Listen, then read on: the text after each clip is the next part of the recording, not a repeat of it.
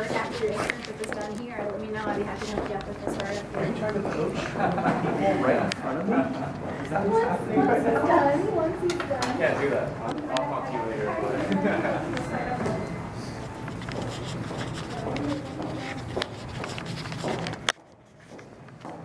Trying this all over again.